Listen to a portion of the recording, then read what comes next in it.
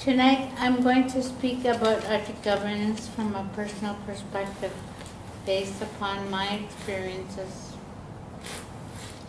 Before I get into the heart of the matter, I would like to provide you with some basic information and context about Inuit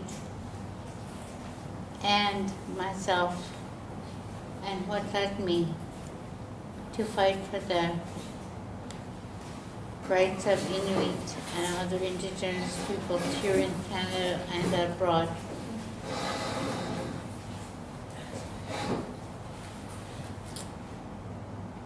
My name is Kulak. I'm named for my great grandfather, who is leader of our clan. I was born, birthed by my grand, by my clan's midwife, While my father, my, my father, Kuptana, was out seal hunting.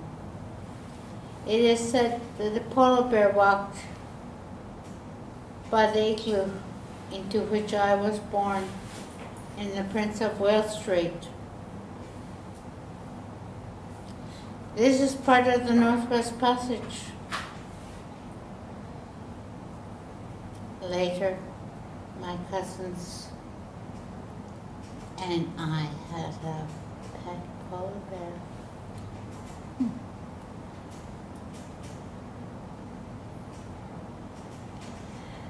This oral history of myself and my family is not unique. It is also the shared history of many Inuit across the circumpolar region. In the late 1950s, my parents, William and Sarah Kuptana, settled into Sachs Harbor and to build houses for the Royal Canadian Mounted Police and the Federal Department of Transport in what was to be, in what was to be Canada's bid for Arctic sovereignty. When these outsiders arrived into a new territory, they did not find the people in chaos.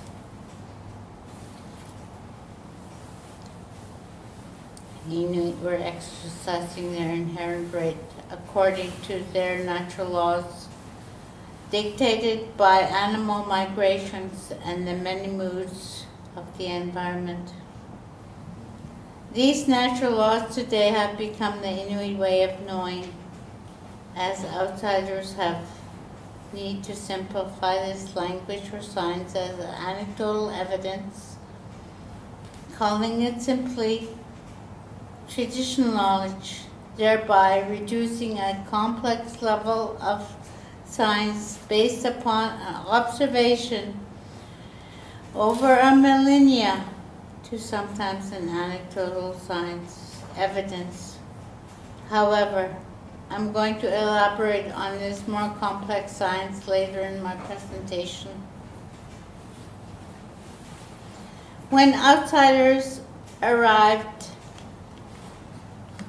they did not find a land vacant of human occupation or terra that piece of legal fiction to take human ownership from indigenous peoples. That was not the case. Let me give you some examples. I heard from my mother and father these following stories about outsiders. My father was sold to the Vilhjalmur Stefansson expedition around 1912 by my grandparents for a gun, ammunition, clothing, and food. Kuptana was about 12 years old and considered a man because he knew how to hunt. This is how the expedition survived because my hunt, my father hunted for the crew. Likewise, the Henry Larsen crew on the RCMP Saint Roch encountered by my mother's clan. That too is how they survived the winter. My extended family hunted for them. Others would not be so lucky. Take the Franklin expedition crew who refused to embrace Inuit ways in the Arctic. As we all know, they perished and instead governed themselves accordingly. And many died of lead poisoning from their canned foods and their canned goods. Now I'm going to talk about the occupation. The occupation. The occupation. There was a time when the occupier, the outsider, held all the power into which I call the occupier of the Arctic, Canadian Arctic. Suddenly new laws were instituted by the outsiders. I saw my father's hunt of the snow geese taken away from him because they were hunted out of season. I saw my mother and her sisters sew clothing for the RCMP without payment. They also cleaned their furs and did many other menial chores. When I was eight years old, the RCMP officer came and got me and boarded me onto a Beech aircraft for residential school.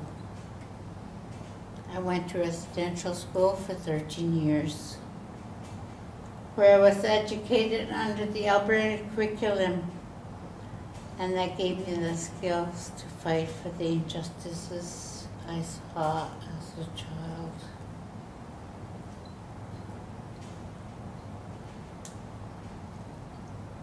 In other regions of the Arctic, measures were being taken to ensure that Inuit stayed in the settlements. There was a systematic dog slaughter of the dog teams in many parts of the Arctic, mostly again by the RCMP. Inuit were relocated to the Arctic from northern, from northern Quebec and became known as the High Arctic Exiles.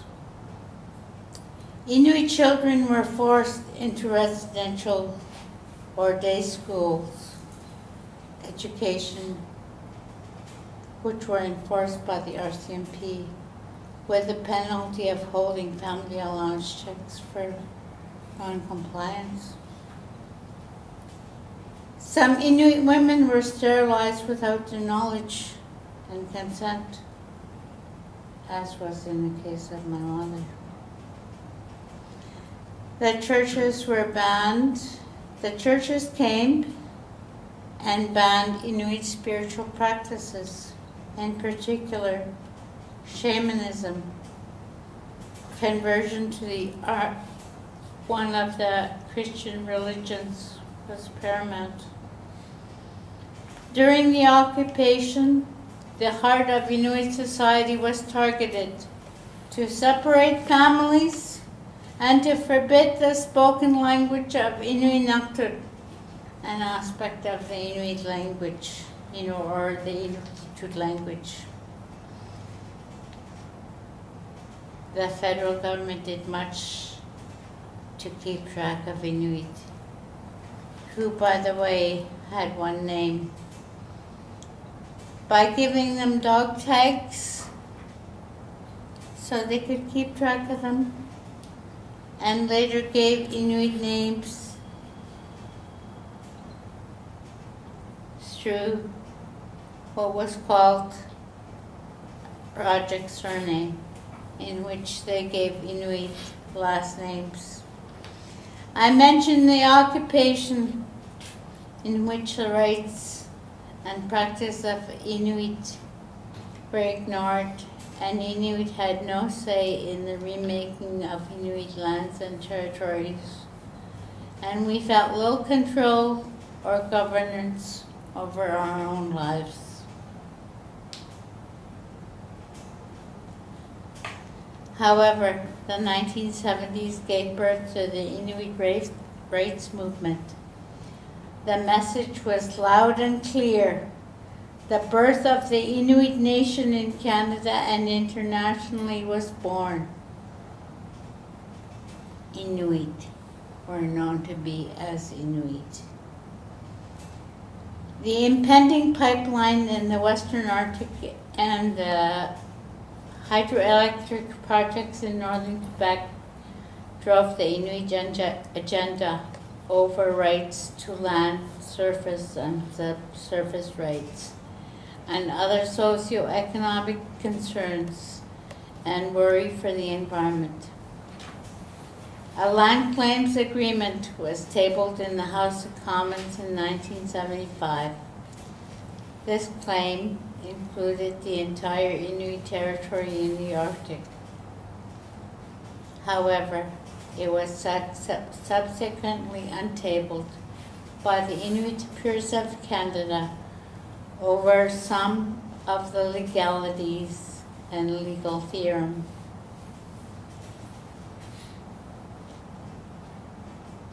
Inuit have much to be proud of. We have much governance over our own territory. The following are the Inuit Land Claims Agreements which have been finalized in Canada. The James Bay Northern the James Bay and Northern Quebec Agreement 1975, the Inuvialuit Final Agreement 1985, the Nunavut Agreement 1993, and the Nunavik Agreement 2007. These land claim agreements are very significant for Inuit Canadians in that they ask for preferential treatment of Inuit and treatment of Inuit on preferential lands. They ask for training and education there's a socioeconomic devel development fund. There's an environmental process, which is often more rigorous than Canada, and often a wildlife organization.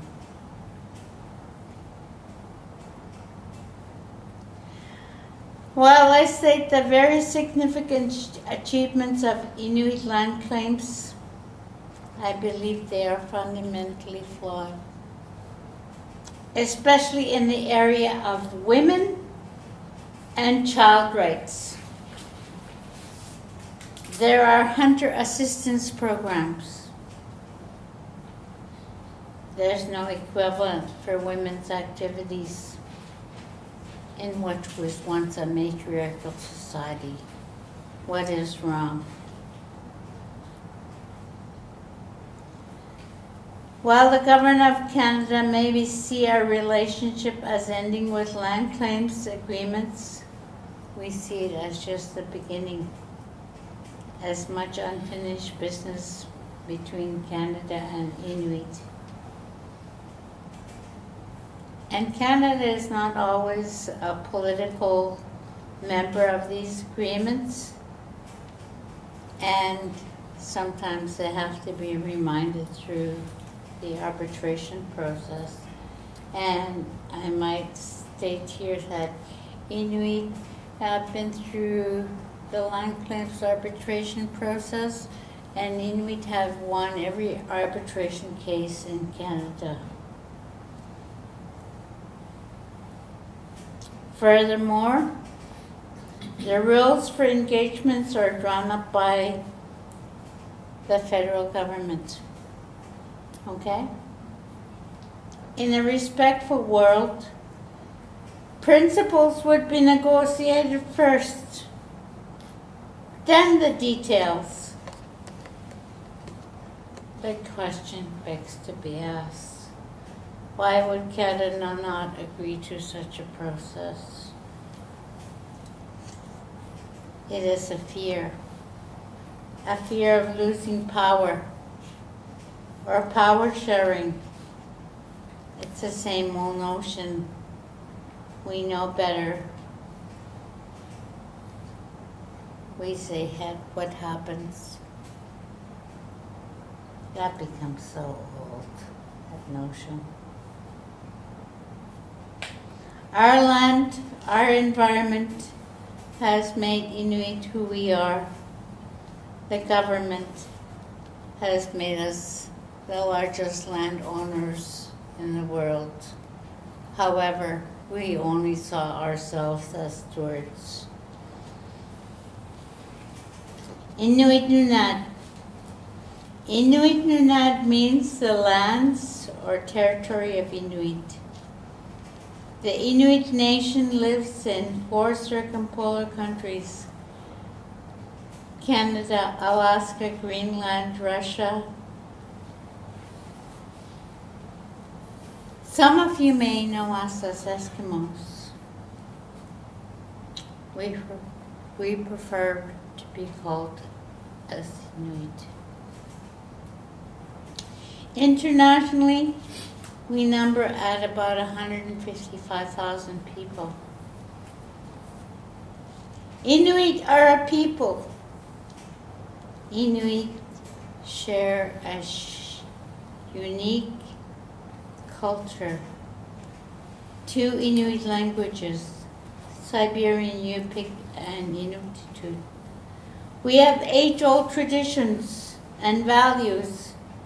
Inuit have their own history, and live in the most unique geographic locations on Earth. These are some of the characteristics that define Inuit as a people. And these characteristics are elemental to Inuit governance.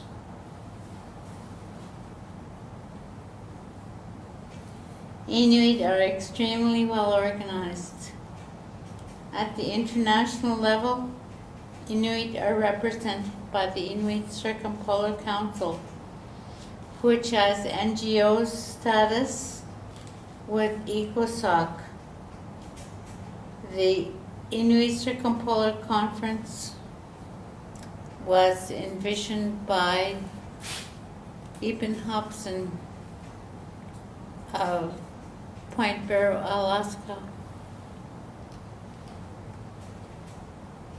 currently the ICC chair, her president is from Alaska or is from Canada.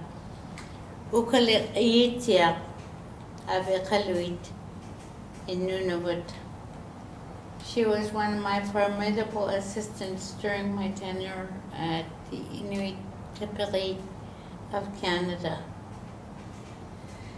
Nationally, Inuit in Canada are represented by Inuit Tapiriit Kanatami, which is the national political voice in Canada. The four land claims organizations are members of the board of directors of ITK, along with members, along with representatives of the National Inuit Youth Council in Poktutu.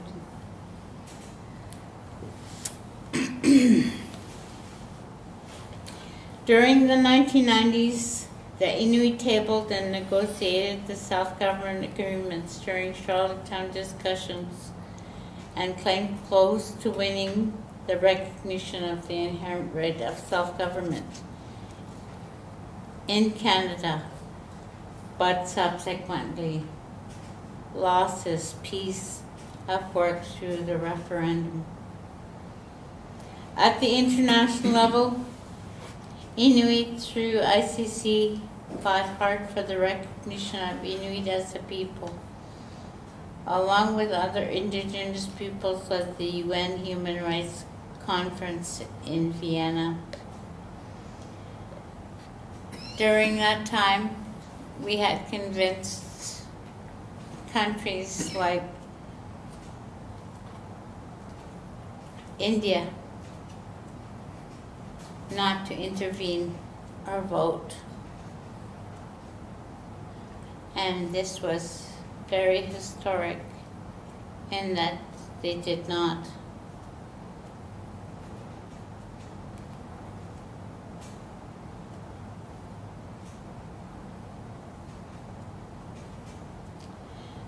During the vote for division between the Northwest Territories and Nunavut,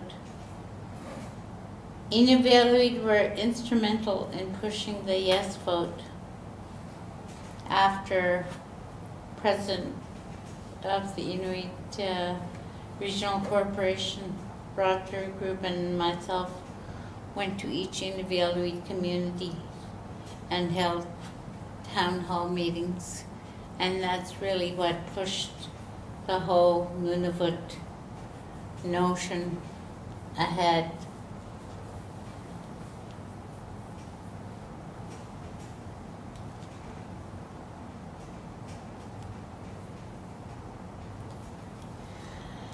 I just want to talk a little bit about uh, traditional knowledge or the Inuit way of knowing because I know this is one of the things that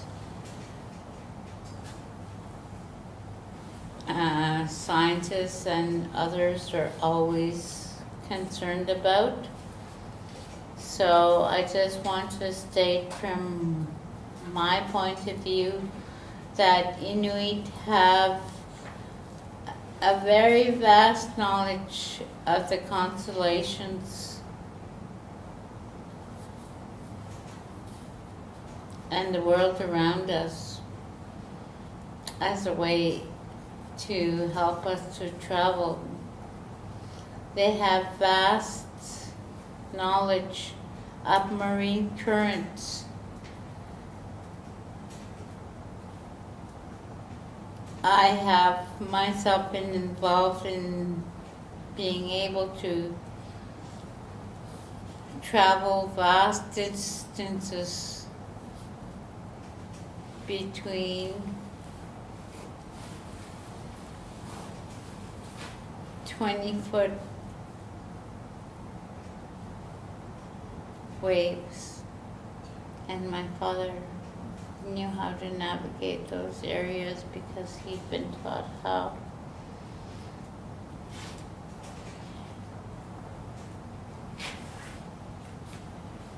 Every Inuk man that has to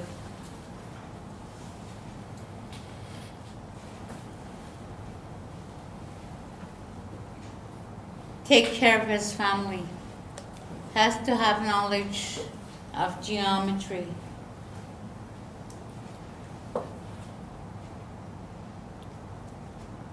You have to have knowledge of geometry in order to build an igloo.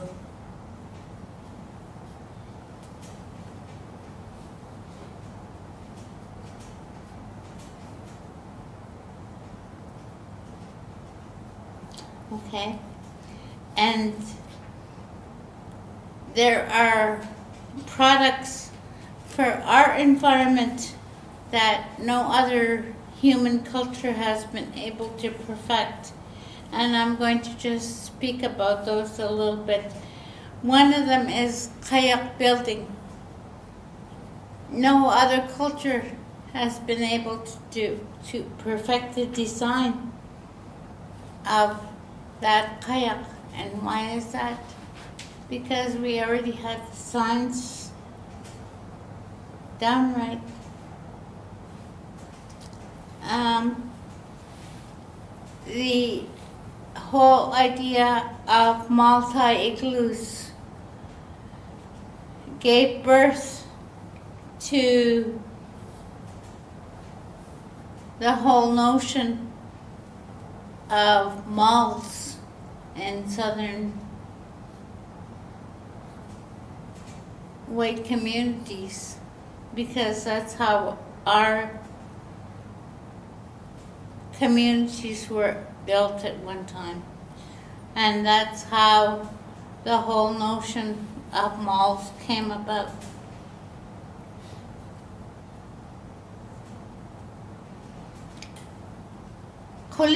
The Kolitak. The design of the Inuit fur parka has not been perfected by anybody else. And you know, they've learned how to use the hollow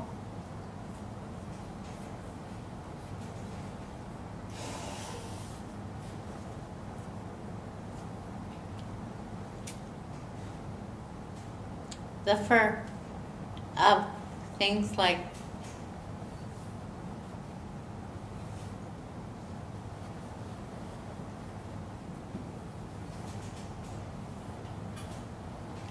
mascots?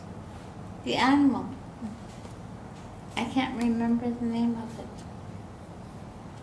The wolverine.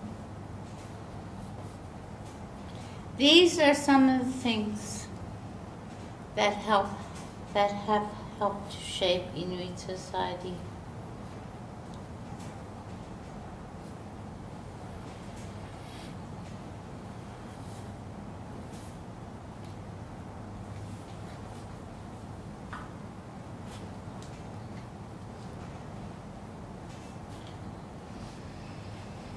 However, when I talk about the ratification of these very significant arrangements at the national and international level, there's still the reality, especially in places like Nunavut, where in 1985 the Department of Indian and Northern Affairs published a report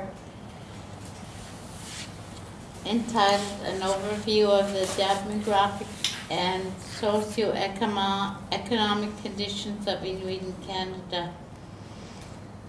The report included demographic research that went back far back as 1931, covering the 50-year periods between 1931 to 1981 and in 1931, there were 5,914 Inuit in Canada, compared to 25,390 Inuit in 1991.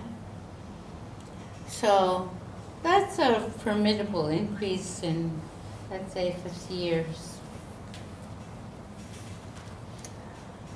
The report went on to state the following. The purpose of the report is to describe the Inuit ethnic group in terms of its demographic evolution and specific socioeconomic conditions.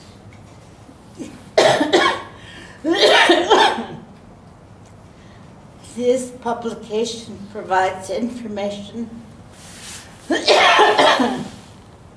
which should be useful for policy and program development, strategic and operational development, or programming, and performance measurement.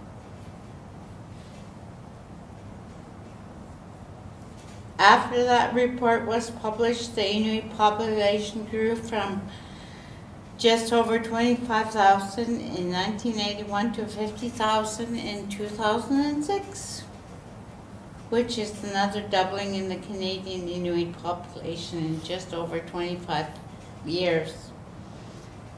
There are other statistics from the 2006 consensus that were relevant, which we will look briefly as Inuit. Inuit have the youngest population in Canada. The median age is, in Canada is 40 versus the median age of Inuit is 22 years old. Inuit have the lowest life expectancy in Canada. The average life, life expectancy in Canada is seventy-nine point five years versus the average life expectancy of Inuit at sixty-seven years. Inuit live in the most overcrowded housing in Canada, and that's evident in Nunavut. Three percent of Canadians live in overcrowded housing versus thirty-eight percent of Inuit live in overcrowded housing. It's not a significant number. Inuit have the lowest education levels in Canada.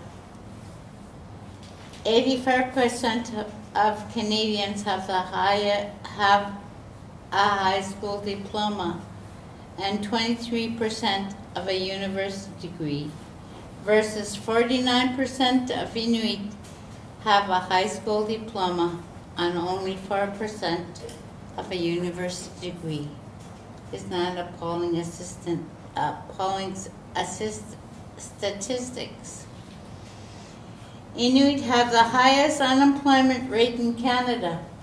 I'm not happy to say that. Seven percent of Canadians are unemployment in two thousand and six. This is in Nunavut. Versus twenty percent of Canada were, of Inuit were unemployed.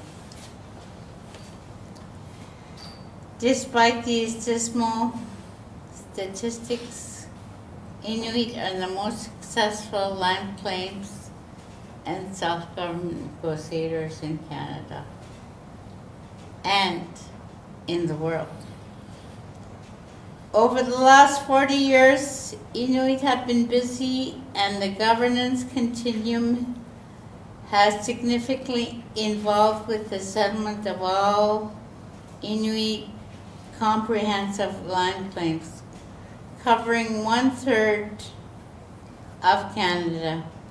This includes the James Bay the 1975 James Bay Northern Quebec Agreement, the Inuvialuit Final Agreement, the 1993 Nunavut Land Claims Agreement, the 2005 Labrador Land Claims Agreement, and the Nunavik Land Claims Agreement, which happened in 2006 with respect to offshore. Inuit have also negotiated the establishment of public governments and Inuit self-government institutions as part of the land claims processes. Okay?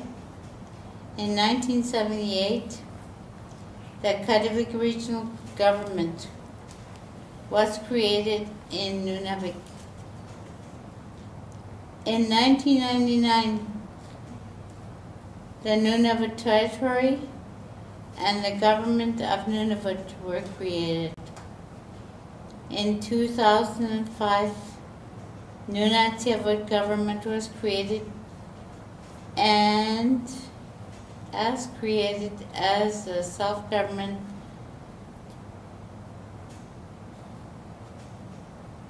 Inuit self-government negotiations continue in the, in the, in the Inuvialuit region where an Inuit government will be created. And in Nunavik, where Inuit are negotiating the, uh, the cons consolidation of Nunavik institutions which were established under the James Bay Northern Quebec and James Bay Agreement.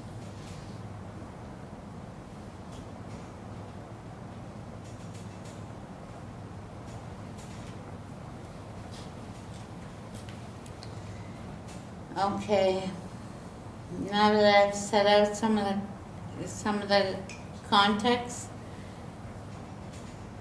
let's get into the three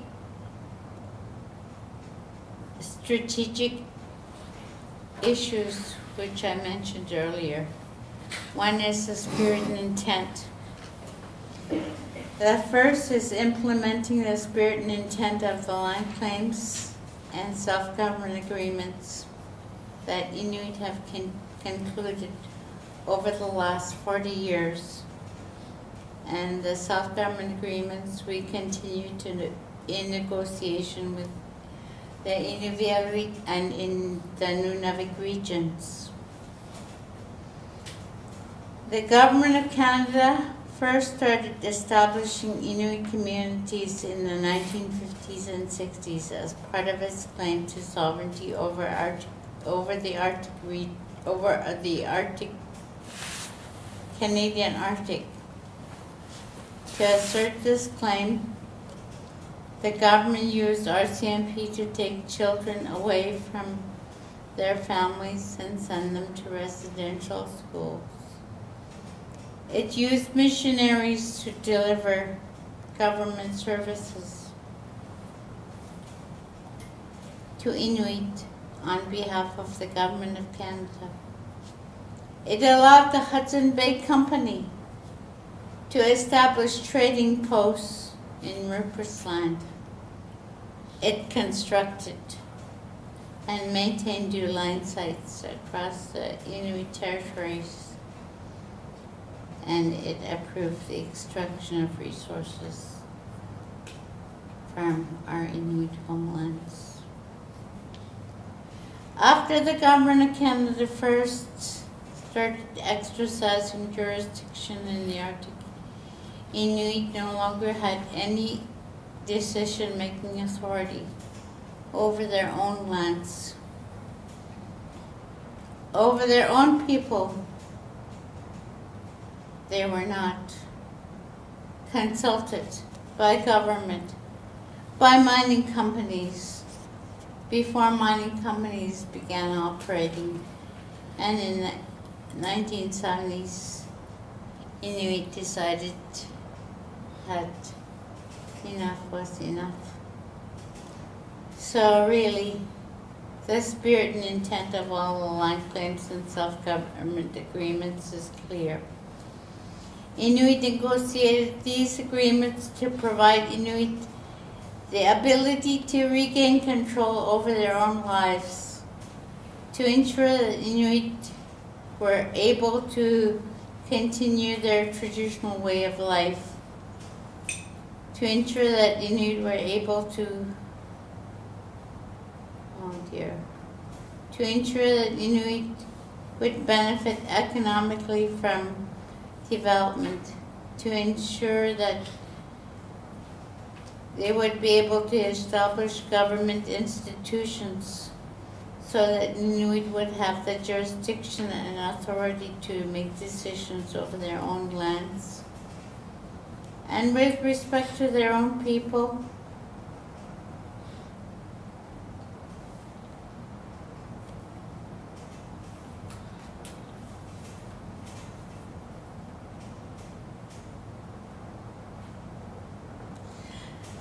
I could go on and on, but all I could say is that Inuit would not have signed an agreement if they thought that some of these objectives were not being met. So if there was a problem, they would not sign with the government of Canada. Uh, whether was there was whether there was a problem with implementation or interpretation.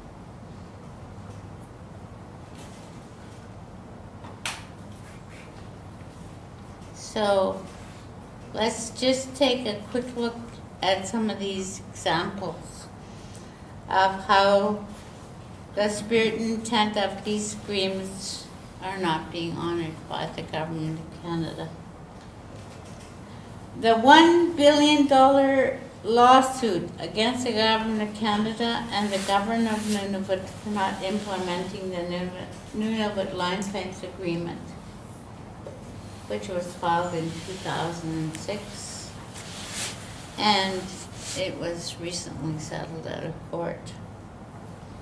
NTI claimed the government of Canada was underfunding all the institutions of the public government that were established under the land claims agreement, including the Nunavut Impact uh, Review Board, the Nunavut Water Board, the Nunavut uh, Surface and Rights Tribunal, the Nunavut Planning Commission, the Nunavut Wildlife Management Board, and so on. So together, all these organizations are responsible for ensuring that Inuit are able to control the pace of resource development in, in, in the Nunavut area. Ensuring that the development's done in an environmental sustainable manner. Ensuring that Inuit benefit from the job and business opportunities that come from resource development, ensuring that Inuit are able to continue their traditional way of life of hunting and fishing on the land, ensuring that Inuit are consulted in a meaningful and direct way before development occurs, and for their lifetime of projects, and ensuring that Inuit rights and interests are continued to be respected. So those are some of the examples that I'm talking about in the Nunavut region. I can talk about things like the Inuit employment and decision-making process and so on, but I don't think I really want to get into that because that's something that would be more useful to um, Inuit beneficiaries. Do you want to talk a little bit about your role in all of, this? Because I think it's fascinating. Um, Talk about yourself and all.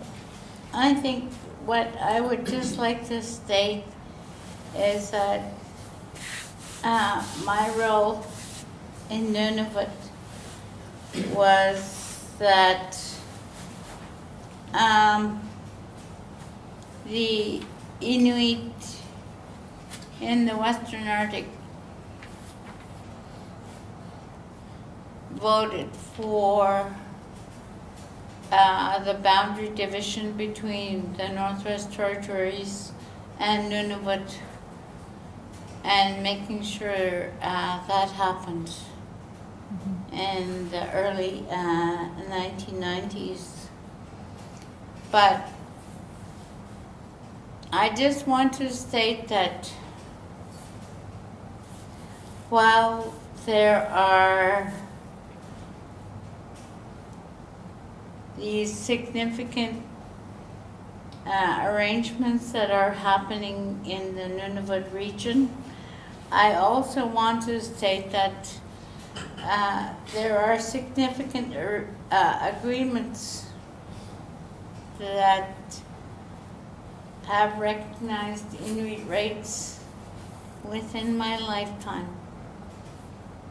And they include the United Nations Declaration on the Rights of Indigenous Peoples, the Migratory Birds Convention Act of 1995, which is the only international instrument that recognizes and respects the uh, rights of Inuit in land claims in which they can use uh, the birds and bird byproducts uh, for handicrafts and other things. There are four land claims agreements in Canada in Inuit, the Inuit territory. Inuit were involved in the NAFTA environmental side agreement in which Inuit rights were not only recognized but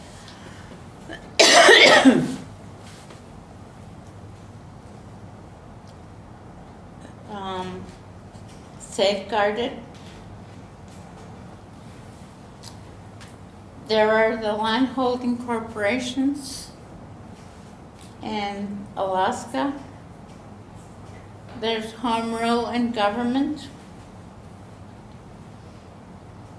There's the recognition of First Nations, Inuit, and Métis in the Canadian Constitution Act 1982 within Section 35.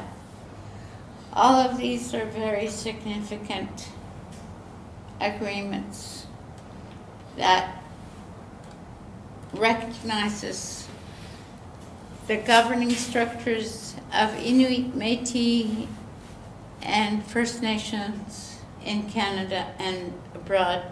And that is why I decided to highlight them